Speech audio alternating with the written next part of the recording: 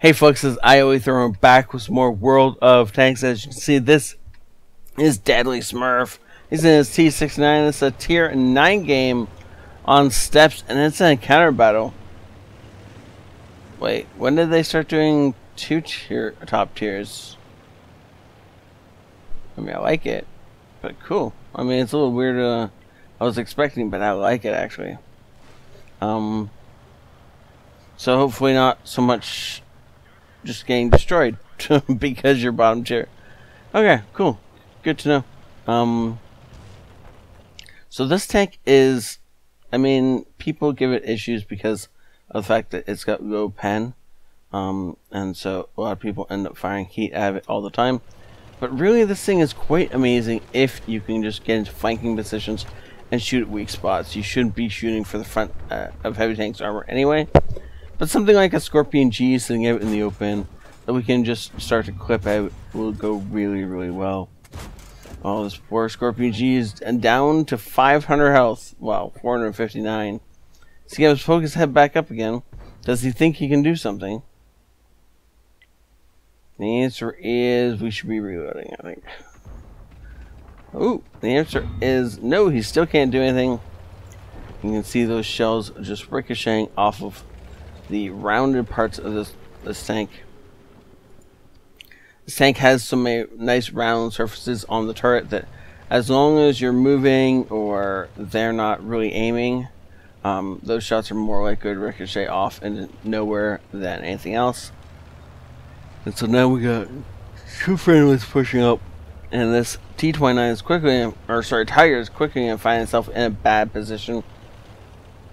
I don't think we're going to get a shot on it. I think we're probably going to end up looking face off with that T-29 that was over here and is still over here. Doesn't realize we're here yet. Now it'll know we're here, but it's a bit late by now. Going, not going for the tracking shot? Oh, there we go.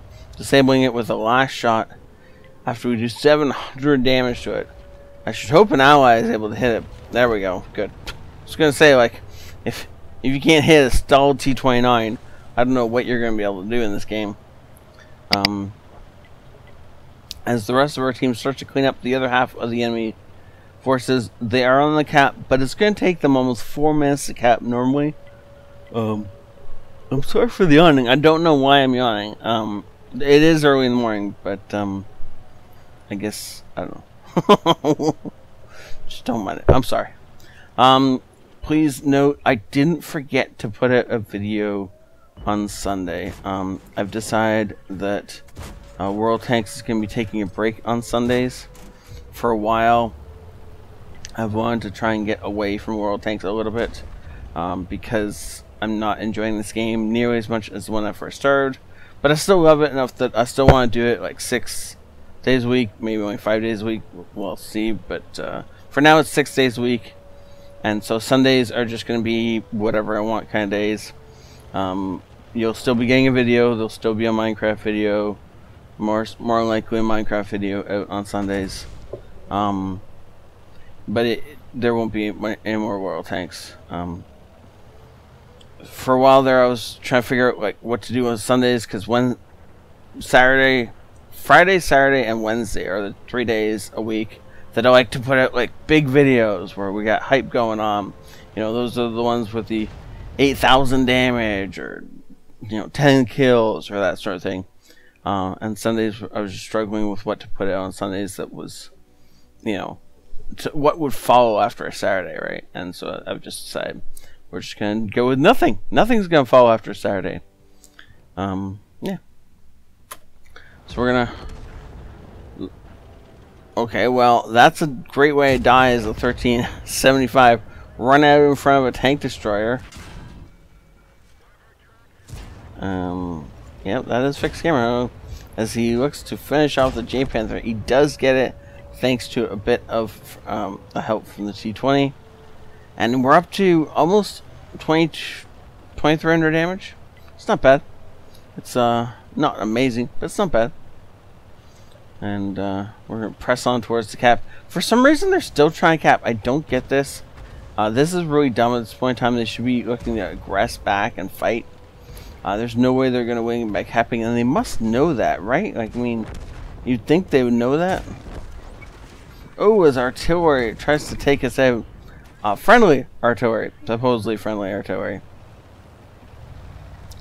We do a bunch more damage, and we're approaching 3,000 damage. There's a WZ down in the corner of the map. Apparently doing his best to win the game by himself. So we're going to charge down there and just going to speed up as we get, or until we get to the point where we can actually shoot at him, which Deadly seems to think he can hit him from here. Um, I don't know if that's true or not, depending on where the WZ is. Yes, we can. Uh, can we put a good shot into him? Yeah, that shot dipped and went into his front plate. And because of the angle we're shooting at, oh, it went in. Uh, unfortunately, the third shot did not. Fourth shell, nope, was to miss. And he'll, he'll be dead by the time we reload. So that was a great game. Um, I enjoyed the positioning. Once again, he didn't take this tank headlong into the enemy. He moved around the sides and flanking and other stuff, circling enemies and stuff. It was a great use of the tank. Um, and stay tuned for the bonus clip after we finish what he got out of this. Wow. Master Badge First Class, Bruiser, Demo Expert, Fire for Effect, and just well done um, soloing, or picking up the enemies he, he picked up on this. Uh, that Rheinmetall just wanted to sit in the open. And so, I mean, we got a ton of damage out on him because he just decided he was going to sit out in the open. Uh, it's same with the T29. And sometimes you just have to let the enemies be dumb and then take advantage of that. And uh, Deadly did really well doing that in this game. Second most on damage on his team. And I mean, he's not top tier. So there it wasn't like he had that running for him, but like look at the rest of his damage on this team. This is horrendous. What are you people doing? How do you how does a how do you get zero damage as an artillery? You fired two shells. How do you not land a shell close enough to do something? Special with an American artillery. I could understand if it was you know, German or French. You know, the, the shell explosion radius isn't quite as big. But seriously, American? You can't land something within a city block of, of your target? And uh, yeah, just well done overall, Deadly. Thank you so much for saying this, and this was a joy to watch. I almost want to bring up my T69 again and play it again, but I, I don't have time right now. So enjoy the bonus clip, and I'll see y'all later at this ioEther